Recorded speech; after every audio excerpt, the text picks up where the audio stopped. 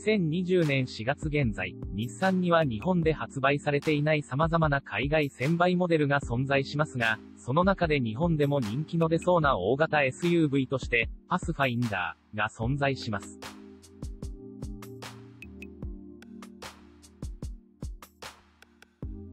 パスファインダーとは、一体どんな SUV なのでしょうか？画像。